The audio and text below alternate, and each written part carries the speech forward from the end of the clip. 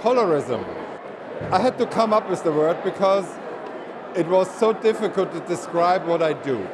Kollerism, it defines the realism of the form and uh, the abstraction of color. But on top of that, it's always a three color system.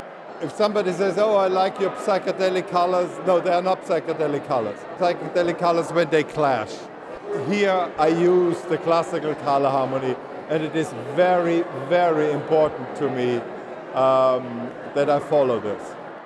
It's exciting when you limit the parameters within you are working it, and that's that's what's the background of Kollerism.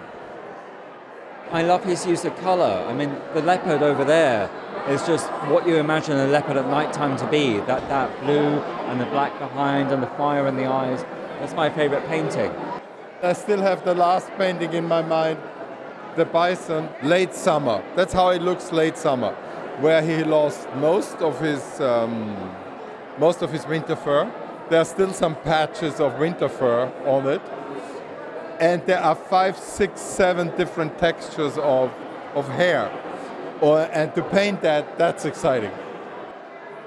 The amount of detail in these pieces are just really outstanding. All of the art is absolutely incredible. You're a wonderful artist, an amazing human being. I love you. Thank you for being in my life. And I wish you all the best. This was extraordinary.